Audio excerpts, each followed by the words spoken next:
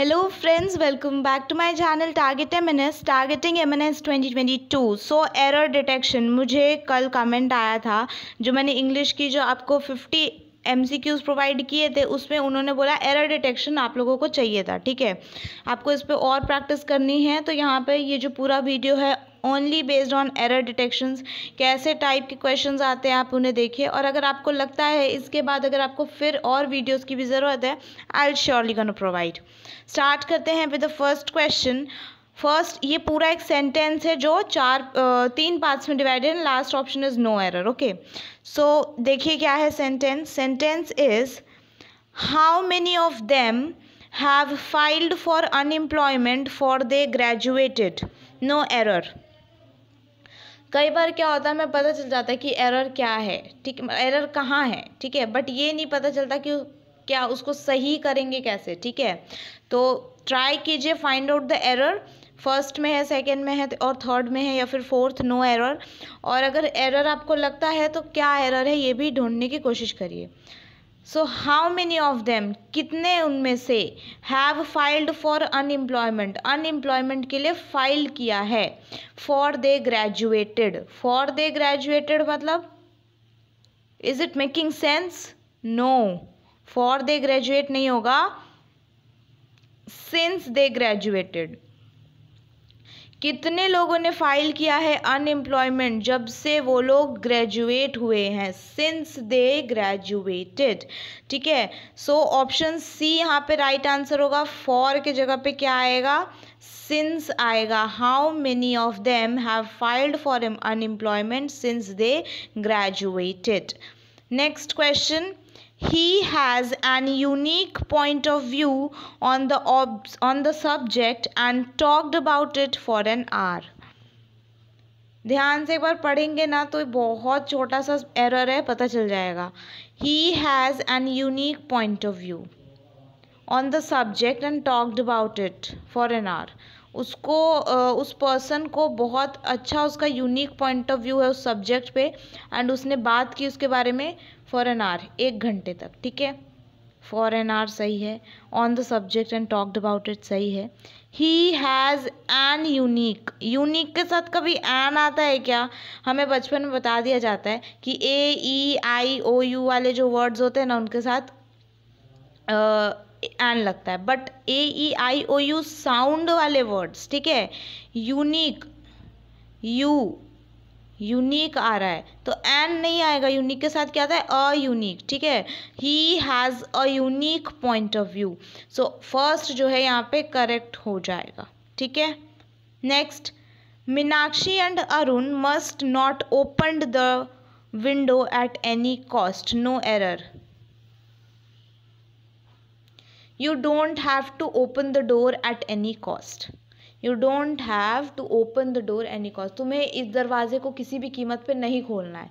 हिंदी में बोलो और आप उसे जनरली इंग्लिश में क्या बोलोगे? You don't have to open the door at any cost right हम बोलते हैं ओपन द डोर या open the window opened E D नहीं लगाते हैं। तो इसीलिए यहाँ पे भी सेकेंड जो है, वही इसका करेक्ट आंसर होगा। क्या होगा? Open. You, Minakshi and Arun must not open the window at any cost. ठीक है opened नहीं होगा open होगा next nice question this is nice question who do you think we should support in the upcoming presidential election तुम्हें क्या लगता है who do you think we should support in the upcoming presidential election तो upcoming presidential election सही है support in the सही है। Who do you think we should we मतलब हम लोग कर रहे हैं तो हम लोग किसी चीज़ को नहीं सेलेक्ट कर रहे हैं, ठीक है? कि इसमें से कौन सा? हु नहीं।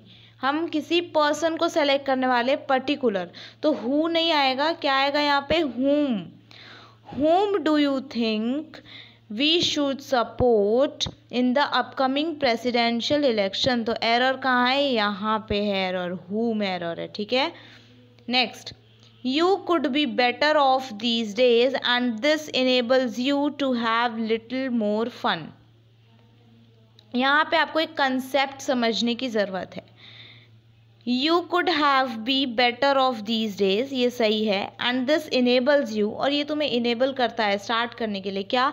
To have little more fun ताकि तुम थोड़ा ज़्यादा मस्ती कर पाओ. लिटिल मोर फन तो जो लिटिल वर्ड है ना, अगर आप सिर्फ़ लिटिल यूज़ करते हो, एक होता है लिटिल एक होता है अ लिटिल और एक होता है द लिटिल ठीक है? तीन वर्ड्स होते हैं. यहाँ पे लिखते हैं लिटिल अ लिटिल और द लिटिल, ठीक है? तो सिर्फ़ लिटिल हो तो this is like nothing at all ये एक नेगेटिव टाइम को दर्शाने के लिए यूज़ होता है।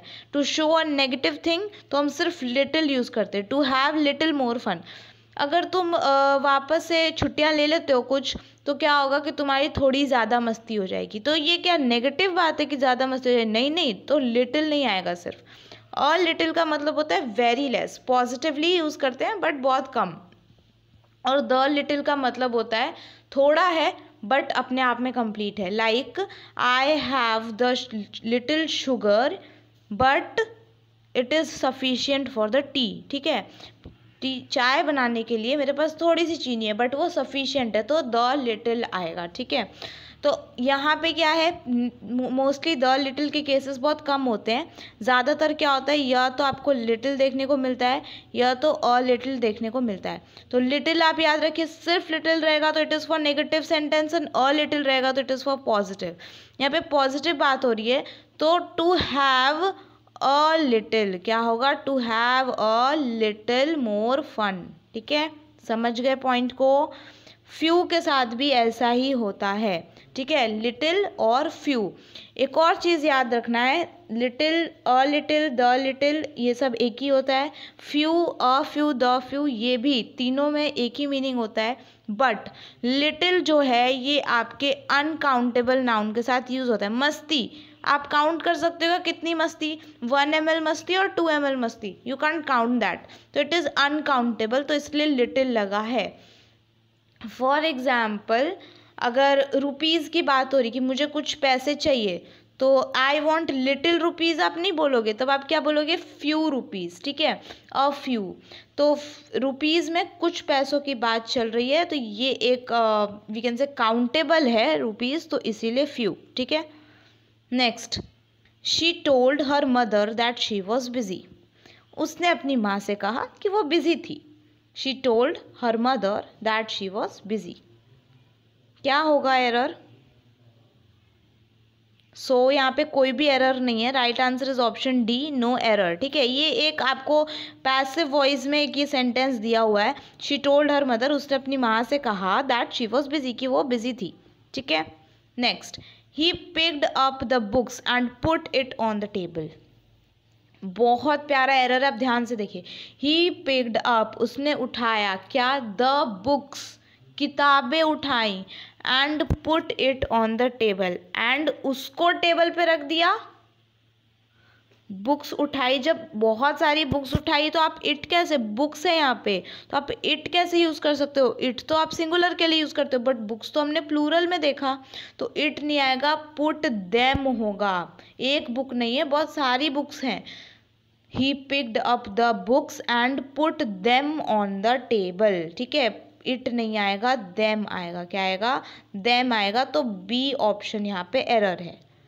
Next some people feel that no progress is possible without discipline some people feel that कुछ लोगों को ऐसा फील होता है, महसूस होता है नो प्रोग्रेस इज़ पॉसिबल कि प्रोग्रेस पॉसिबल नहीं है।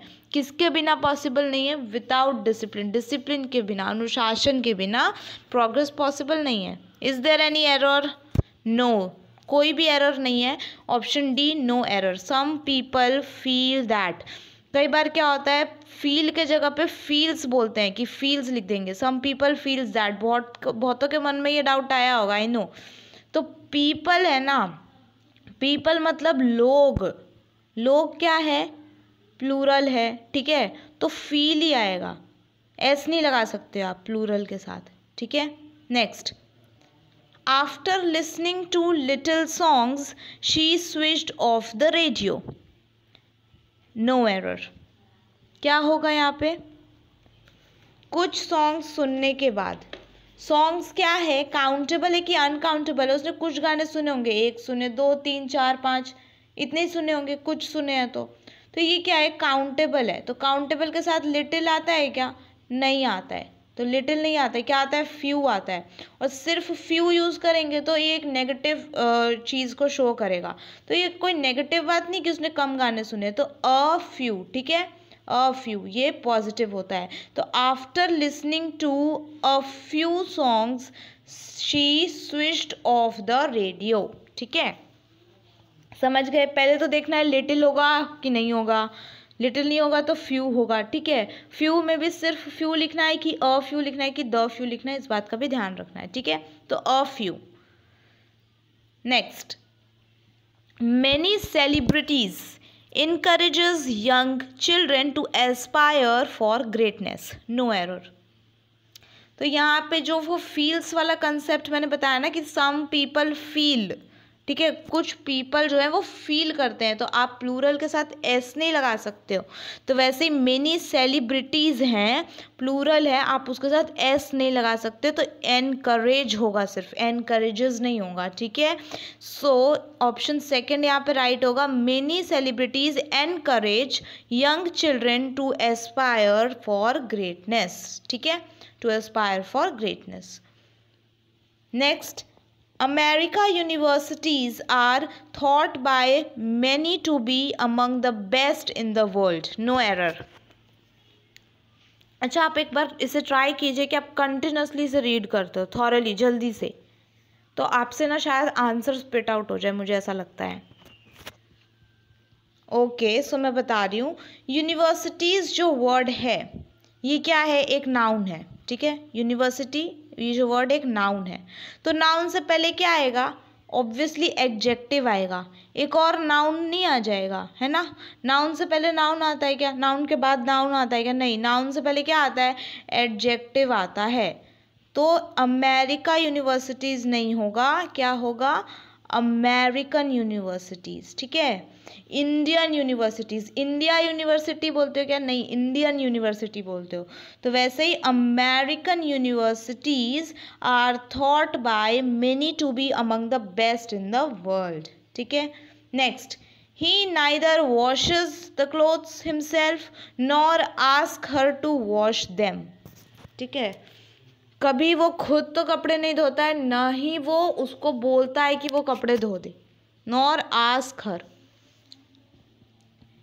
he neither washes the clothes himself nor ask her ask her नहीं होगा, आस्क हर के के बाद एस आएगा, आस्क हर ठीक है? हिमसेल्फ है सिंगुलर है तो आस्क हर ठीक है? ये भी सिंगुलर है। तो क्या आएगा? आस्क में एस आएगा। So he neither washes the clothes himself nor asks her to wash them. Next. Nice question ये बहुत अच्छा क्वेश्चन है यहाँ पे भी आपको एक कंसेप्ट सीखने को मिलेगा Mrs Sharma likes that new Indian restaurant which is located near her house तो यहाँ पे आपको कंसेप्ट ये देखने को मिलेगा कि कब आपको दैट यूज़ करना है और कब आपको विच यूज़ करना है, ठीक है? कहीं पे भी सेंटेंस में विच तब यूज़ होता है जब कोई एडिशनल इन्फॉर्मेशन दे हो। मतलब उसके बिना भी काम चल सकता था उस सेंटेंस में। उस पर्टिकुलर पार्ट के बिना भी वो सेंटेंस एक कंप्लीट सेंटेंस था। बट एडिशनल है तो हमने विच यूज़ किया। बट कोई भी ऐसा पार्ट होता है जो कि उस सेंटेंस के लिए इंपॉर्टेंट है नेसेसरी है तो हम वहाँ पे दैट यूज़ करते हैं। ठीक है? ऐसे याद रखते हैं। दैट क्या है? नेसेसरी पार्ट के लिए है। विच क्या है? एडिशनल पार्ट के लिए है। कंसेप्ट क्लियर लिखते जाइएगा इसे। तो Mrs Sharma likes Mrs Sharma को पसंद है। दैट न्यू इंडियन रेस्टोरेंट वो इंडियन रेस्टोरेंट कौन सा? इतना आपको क्या लग रहा है? यहाँ पे सेंटेंस कंप्लीट हो गया। मिसेस शर्मा को पसंद है वो इंडियन रेस्टोरेंट तो कोई भी पूछेगा आपसे सामने वाला, कौन सा इंडियन रेस्टोरेंट विच नहीं होगा, ये एडिशनल नहीं है, ये इंपॉर्टेंट बात है। तो that is located near her house ठीक है? विच की जगह पे क्या आएगा? दैट आएगा, क्योंकि विच हम एडिशनल चीज़ों के लिए यूज़ करते हैं, ठीक है? बट यहाँ पे ये इंपॉर्टेंट बात है। अगर आप किसी को भी बोलोगे कि मिसेस शर्मा को वो नया वाला रेस्टोरेंट पसंद आया तो कोई भी पूछेगा ना आपसे कि कौन सा नया वाला। तो जो उनके घर के पास है that is located near her house next next देखिए I need a book which will tell me all about city gardening तो यहाँ पे भी जो विच और दैट uh, का कंसेप्ट है वो यूज़ हुआ है. आई नीड अ बुक मुझे बुक चाहिए. अगर मैं सिर्फ़ ये जो है विच वाला क्या है? विच है मतलब कि ये एक एडिशनल पॉइंट ऑफ़ व्यू है ठीक है? तो हम ये इस पार्ट को ही हटा देते हैं। अब पढ़ के देखिए I need a book all about city gardening मुझे बुक चाहिए सिटी गार्डनिंग का हो। ऐसे किए क्या आधा अधूरा नहीं लग रहा है? जो कि बताता हो सिटी गार्डनिंग के बारे में, है ना? ऐसे बोलेंगे ना। तो I need a book that will that that क्यों? क्योंकि ये एक नेसेसरी लाइन है, ठीक है? इंपॉर्टेंट लाइन है। तो I need a book that will tell me all about city gardening ठीक है? Next lots remarks that he made were offensive to my friend जितने भी उसने रिमार्क्स मेरे फ्रेंड्स के ऊपर डाले हैं वो सारे ऑफेंसिव है। मेरे फ्रेंड के ऊपर जो डाले हैं ठीक है?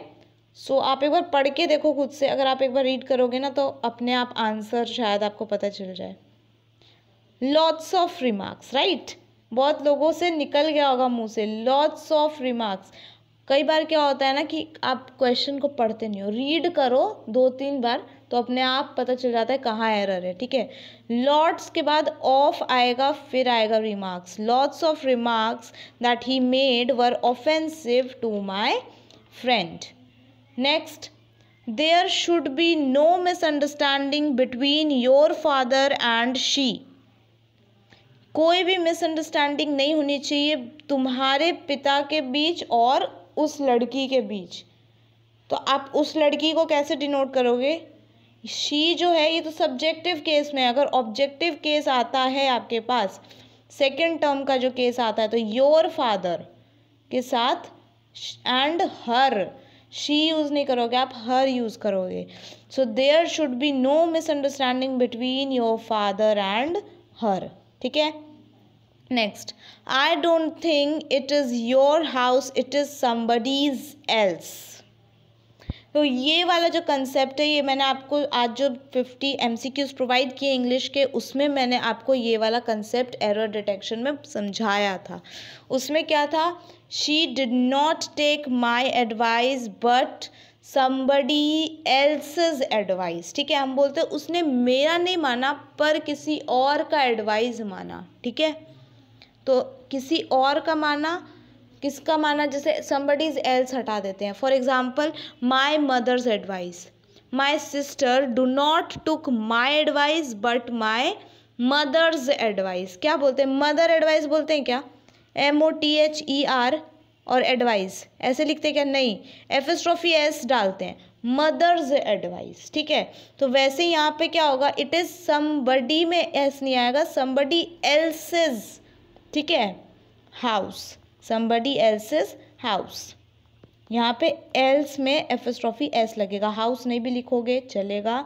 एफिस्ट्रॉफी एस लगाना important next what is the criteria of selection in the examination no error ये थोड़ा कंफ्यूज क्वेश्चन है। ठीक है? कई बार लोग क्या करते हैं? ऑफ़ के जगह पे फॉर लगा देते हैं। For selection in the examination नहीं. What is the criteria criteria जो है हमें यहाँ पे प्लूरल फॉर्म लगाना है that is criterion what is the criterion of selection in the examination ठीक है? Next when the dentist came in जब डेंटिस्ट अंदर आए माई टूथ मेरा जो दांत है वॉज़ स्टॉप्ड एकिंग वो दर्द होना बंद हो गया out of fear that I might lost my tooth इस डर से कि कहीं मैं अपने दांत ना खो दूँ ठीक है? तो जब डेंटिस्ट आए माई टूथ स्टॉप्ड एकिंग होगा माई टूथ वॉज़ स्टॉप्ड नहीं होगा।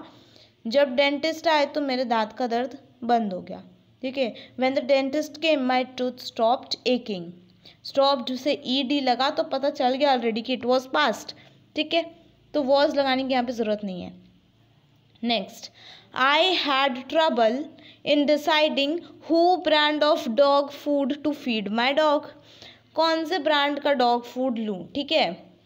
डिसाइड करने में मुझे ट्रबल हो रहा था, मुश्किल हो रहा था कि who brand of dog food कौन से ब्रांड का डॉग फ़ूड तो हु हम लोग यहाँ पे किसी पर्सन को के लिए डिनोट करते हैं, ठीक है? Who is she who is he ये कौन है? अगर किसी पर्सन से हम मिल रहे हैं तो ऐसा हम हु यूज़ करते हैं। But if it is about the things we have to choose तो हम लोग वहाँ पे क्या यूज़ करते हैं? विच तो in deciding which brand of dog food to feed my dog ठीक है? हु की जगह क्या आएगा? विच आएगा? This is very easy last देखिए athletics are a drug it keeps dragging you back for more athletics क्या है? ड्रग है. इट कीप्स ड्रैगिंग ये आपको पीछे खींचता रहेगा. आपको धक्का देते रहेगा कि आप कुछ नया करो. ठीक है? तो एथलेटिक्स फुटबॉल फुटबॉल के साथ क्या लगाओगे? आर लगाओगे क्या? नहीं. फुटबॉल के साथ क्या लगाओगे? इज़ जिमनास्टिक्स जिमनास्टिक्स आर नहीं होता है, जिमनास्टिक इज़ होता है। वैसे एथलेटिक्स सुनने में एस लगा हुआ है, बहुत सारे वर्ड्स ऐसे होते हैं जिसमें एस लगा होता है। इट डजेंट मीन कि वो प्लूरल है। एथलेटिक्स क्या है? एक सिंगुलर वर्ड है। ठीक है? क्या है? सिंगुलर वर्ड है तो आर नहीं होगा, यहाँ पे क्या होगा? इज़ होगा। ठीक है? क्या होगा? इज़ तो athletics is like a drug it keeps dragging you back for more ठीक है? These are the question for error detection आपने बोला, मैंने तुरंत अपलोड कर दिया। आप और भी मुझे सजेशंस दे सकते हैं। मैं ज़रूर उससे नेक्स्ट डे और डे आफ्टर टमोरो मैं ज़रूर उसे फुलफ़िल करूँगी. Thanks for watching please like comment आपको वीडियो कैसा लगा? किसी भी क्वेश्चन में डाउट हो, वो भी कमेंट कीजिएगा. मैं आपका क्वेश्चन ज़रूर सॉल्व कर दूँगी. डाउट सॉल्व कर दूँगी. Share to the friends who are preparing for M N S twenty twenty two and if you are new to this channel subscribe to my channel for such an amazing videos thank you so much keep supporting